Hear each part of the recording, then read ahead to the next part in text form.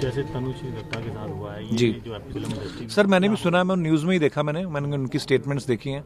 और फिर मैंने देखा है कि दूसरे एक्टर जो हैं, जिन पे उन्होंने या डायरेक्टर हैं जिन पे ऊपर उन्होंने वो एलिगेशन लगाए हैं जिनका कुछ प्रॉब्लम चल रहा है। पर मुझे पूरा इंसिडेंट पता नहीं है। पर हाँ जब भी ऐसा कोई इंसिडेंट सुनते हैं तो ये दुख ज़रूर होता है।